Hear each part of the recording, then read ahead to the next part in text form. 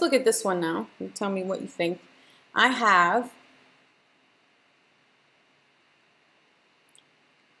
8x squared plus 2x minus 20 all over x plus 3 times x squared plus x plus 2.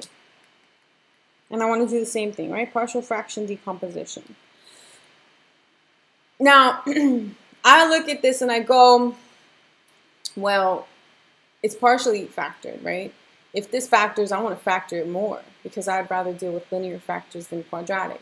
But you'll notice that this little quadratic, this little trinomial, does not factor.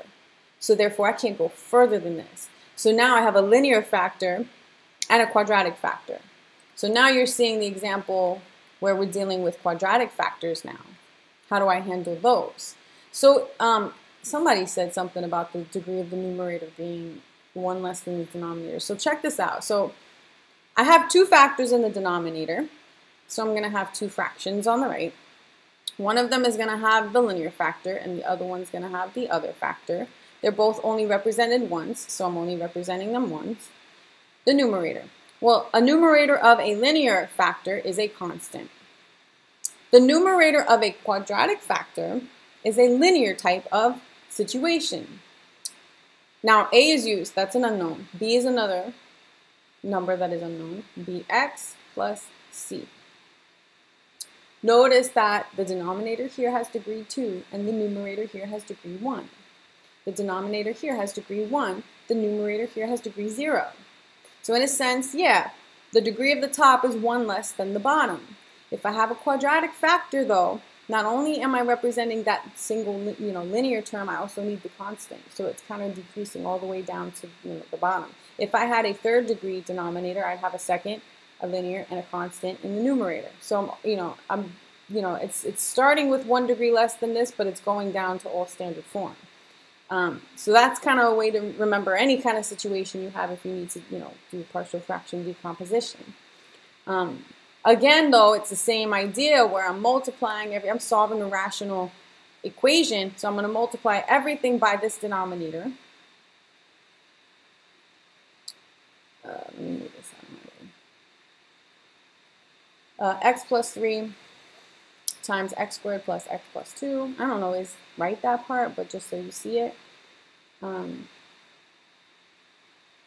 and so that's going to cancel with this whole thing. So this whole numerator is on the left. 8x squared plus 2x minus 20 equals this multiplied by this, right, this is technically over 1, is canceling the x plus 3. So I have a times the quadratic factor, x squared plus x plus 2 plus the numerator here, bx plus c times, this is canceling with this, so I'm left with x plus 3. So I have some work to do here before I can actually, you know, compare both sides um, 8x squared plus 2x minus 20. Just double check that you copy the problem down. See that you copy the problem down correctly. Um, which is funny that I said that because I copied it down incorrectly from the book. So let's see what happens here because I actually did not. I copied it down wrong from the book, yet let me fix it.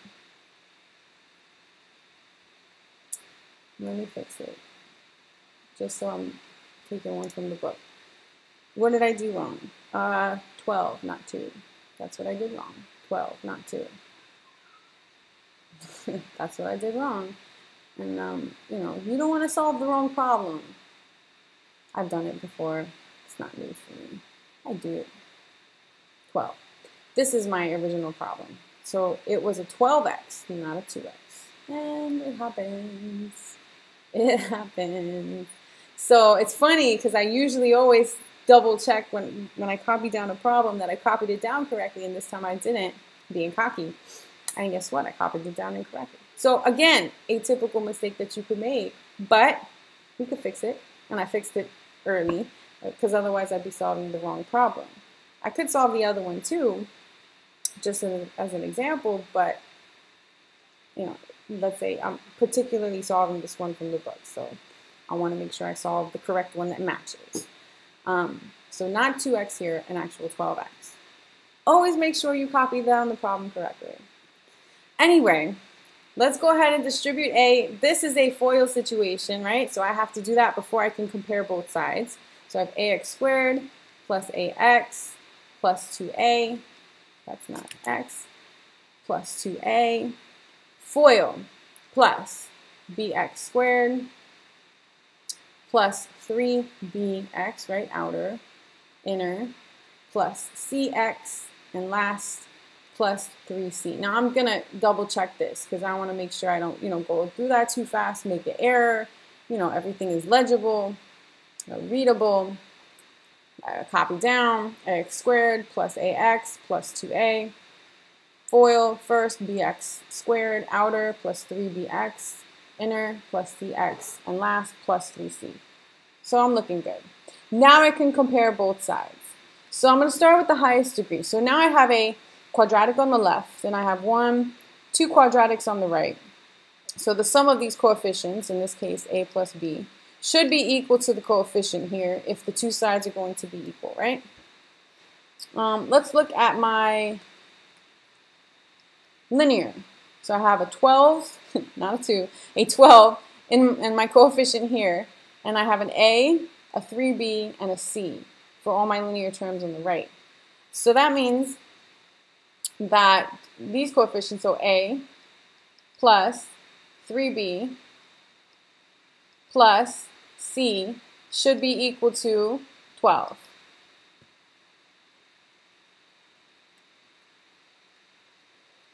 And then last, the constants, I have a negative 20 here. 2a, and I, just a 3c, I guess that's it.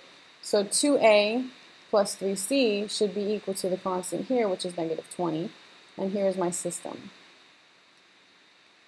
of equations of three variables. And this is a little bit more difficult to solve than the other one.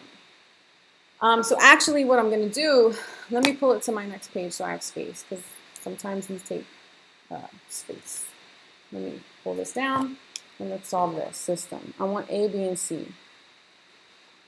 So what do I notice? Well, first of all, when you have a system of three equations, uh, uh, three equations of three variables, you want to shrink it down into a system of two, right? Shrink it down into an equation of one. You go down, you know, by one. So I have, you know, I want two equations with the same two variables. This one has an A and a B, and this one has an A and a C. Um, you could choose either one. Um, let's just choose this. A plus B is 8. So I have one equation. Let's call this equation 1, equation 2, and equation 3. So if I'm referring, you know what I'm referring to. I have one equation of A and B. I need to create another one of A and B from these. So I'm going to use this later, but I'm going to need these two for now to create another equation of A and B. So um, let me copy down. Can I do a couple things in one shot? No, I'll, I'll show all my work, sorry. I was going to try to, a plus 3b plus c is 12, twice a plus 0b. Mm, plus c is 12, and then twice a plus 0b plus 3c is negative 20. I like to line up my variables so that I can see what I need. Obviously, I need to eliminate c because I want another equation of just a and b. So to eliminate C, I'm going to multiply equation 1 by negative 3, right? Because I want the same coefficient but opposites. So I'm changing equation 2 to negative 3a minus negative 3a minus 9b minus 3c is negative 36. And this one is 2a plus 0b plus 3c is negative 20. And now, when I add the two together, you'll see my C's go. And I'll be left with an equation of just A and B. Negative 3A plus 2A is negative 1A. Bring that down, negative 9B is equal to negative 56. And now I have an equation here, equation here. So back to equation 1. Now I need A plus B is 8. But now I have this other equation, negative a minus 9b is negative 56, which both have the same two variables, which now hopefully is clearly obvious, you can eliminate a very easily, which isn't lucky. And then get b, backtrack to a, backtrack to c, and then you got your three variables, three unknowns. Go back to your to your you know partial fraction decomposition, and you have your three fractions. Um, all right, so let me go through. Eliminate a. Positive 1b minus 9b is negative 8b. And 8 minus 56 is negative 48. So divide both sides by negative 8. b is 6. So I got b. Yay, got one of them. Backtrack. Now, I can find a. Uh, I can, actually, I'm going to go back up here because this one's easy to use. Um, a plus b, which is 6, is 8. So therefore, a is 2. I have a, I have b. Let's go back and find c. Let's go to, actually, either one of these works. Let's do equation 3 because it's easy. Twice a, which is 2, plus 3c is negative 20. This is equation 3 that I'm using. 4 plus 3c is negative 20. 3c, space, subtracting 4 from both sides is negative 24. So c is negative 8. I have my a, my b, my c. Can I represent that here? I'll go back here. I'm going to end. My final result, at the end of the day, this whole thing, right? Partial fraction decomposition. This thing is equal to, I'm not 12. Don't want to forget that 12. That 12 uh, is equal to what was A? 2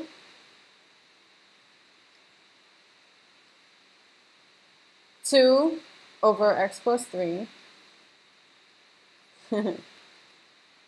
um, plus bx plus c, what was b? 6x minus 8. 6x minus 8 all over x squared plus x plus 2 I don't like when I circle something and it goes over my problem. Okay. and now I am finished. That is my partial fraction decomposition. If I go backwards and I were to combine these into a single fraction, I'd go here and it should match. If I want to check my results, and ta-da, voila. I had a professor that would be like, voila, voila, boom. There's my